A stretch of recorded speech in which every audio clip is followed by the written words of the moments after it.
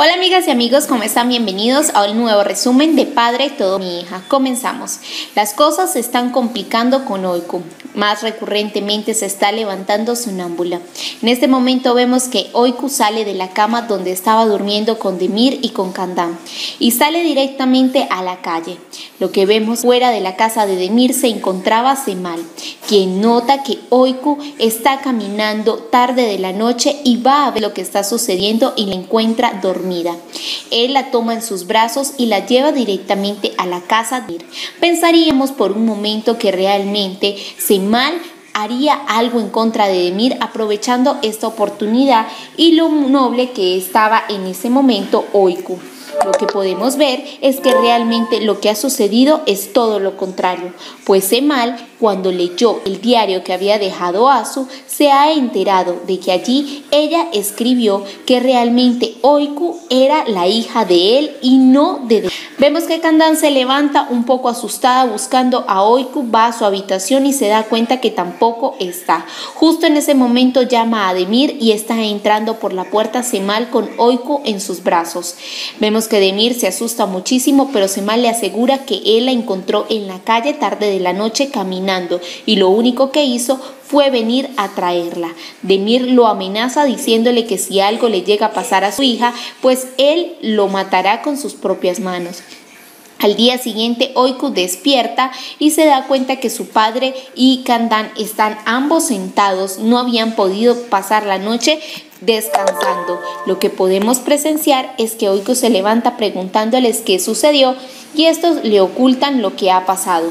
Mientras tanto, Ogur está recibiendo el desayuno con su madre y un poco triste. Lo que vemos en el recuerdo de Ogur es que Hussein, el padre de Sergi, le ha dicho la verdad de quién es Ogur y que claramente sabemos de los problemas que se ha metido y que don Hussein sabe perfectamente. Le ha contado a Sergi que él es un ladrón y un estafador. Así que le pregunta a Ogur si ya estafó a Sergi.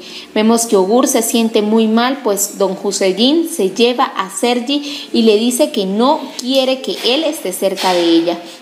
Vemos que Demir está desayunando con Kandan y Oiku y en ese momento vemos que Kandan recibe una llamada de Murat y le dice que se van a encontrar en la veterinaria. Mientras que Demir lleva a Oiku para el colegio, obtiene la verdad de la razón del por qué ella eligió a Asu y no a él, pues le cuenta que Semal la había amenazado. Vemos que Demir se queda sorprendido y ya de una vez comprende por qué Oiku hizo lo que hizo, mientras que Semal sigue buscando el paradero de Asu. En esta oportunidad ha leído en su diario sobre una amiga que ella tiene, Seinet, la que estuvo cuidando por mucho tiempo a Oiku. Murat a la clínica donde Kandan. Allí le ha hecho el reclamo del por qué se casó con Demir. Justo en el momento cuando empieza a hablar mal de Demir, Demir entra interrumpe la conversación que tiene Kandan con Murat. Sencillamente se da cuenta Demir de que Murat tiene unas intenciones diferentes por Kandan. Murat termina por marcharse y Demir toma el trabajo que le estaba ofreciendo Kandan. Mientras tanto, aquella mujer, que ha querido casarse con Ogur ha ido al café en el que éste ha empezado a trabajar. Allí ha pedido varias cosas y le ha dicho a Ogur que él se tiene que hacer cargo de la cuenta debido a que ella es su prometida. Vemos una participación de Oiku dentro de la clase, pero algo que no puede culminar, pues Oiku se ha empezado a sentir mal nuevamente, pero nada grave, mientras que Ogur intenta escapar de su trabajo para poder ir a ver a la maestra Sergi y Semal va directamente donde la amiga de Asu para resolver si realmente él es el padre de Oiku.